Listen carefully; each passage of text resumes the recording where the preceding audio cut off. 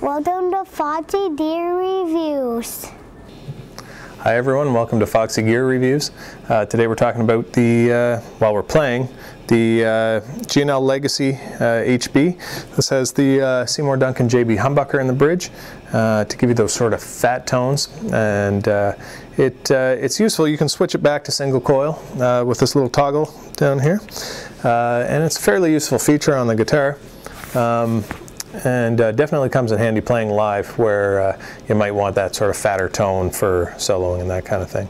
We're using a uh, Mesa Boogie Mark V amp on the clean channel uh, at the 10 watt setting um, and a uh, Marshall 1960 cabinet. Let's see how it sounds.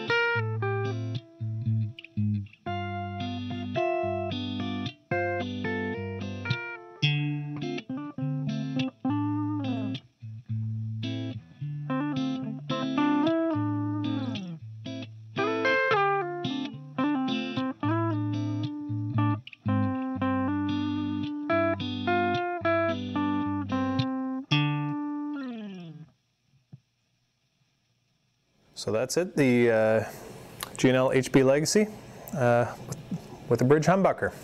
Hope you enjoyed it. Sorry for the scratchy uh, interference noises, but I got a lot of cables running on this little rig of mine. See you next time.